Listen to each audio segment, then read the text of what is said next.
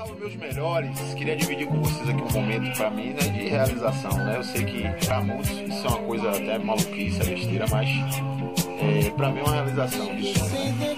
Tatuando aqui o braço, fechando o braço, mano. Mano Gueguel, você que gosta tatuagem, olha o nosso profissional aí, ó. Cara broca, velho. Cara broca, viu? Bota pra lá. Tô comendo essa dorzinha aqui, mas tamo junto. Valeu, meus irmãos. Tô com saudade de vocês, deu muito trabalho, mas é isso mesmo. Salve, salve.